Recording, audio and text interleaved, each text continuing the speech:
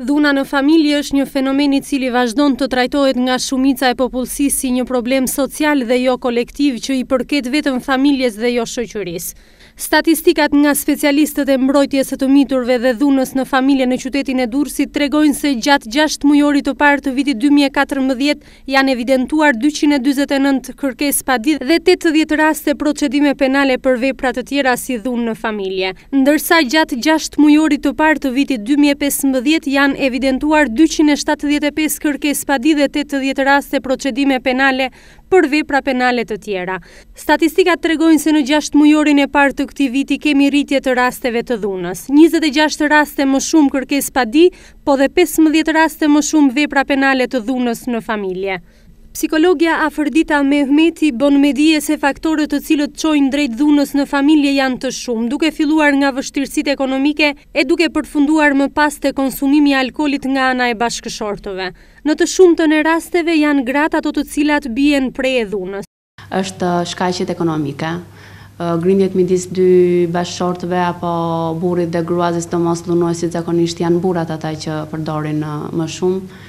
Vijnë nga pasiguria, vijnë nga pjesa varfëria ekonomike që aktualisht thellohet gjithmonë e më shumë.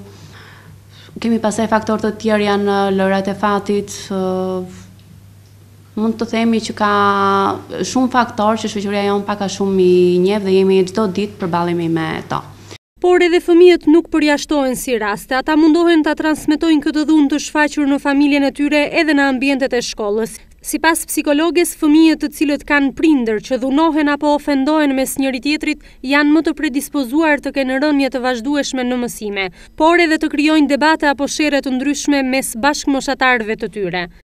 Kur në një familje ka dhunë ndaj gruas, normalisht patjetër që kjo dhunë ushtrohet edhe tek fëmijët dhe normalisht kjo dhunë ë ndikon, jep modelet, rriten faktorët, gratë normalisht janë rrinë më tepër në shtëpi.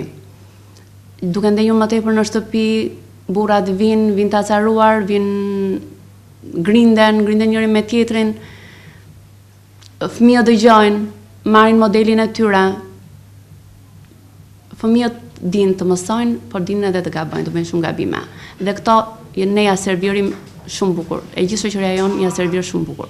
Mund t'ia servirim duke u grindur njëri me tjetrin, duke bërtitur, duke dhunuar, normalisht më pas ai fëmijë do dali përjashtë dhe normalisht do bëhet i dhunshëm. Ja ku mor krijuam, përfituam individ Përfituam një brez me dhunë, përfituam njerëz apo fëmijë që rriten, më vonë do transmetojnë po dhunën te gratë e tyre. Fenomeni i dhunës në familje është një nga plagët më të rënda sociale që vuan shoqëria shqiptare e ndikuar kjo nga faktorë të ndryshëm.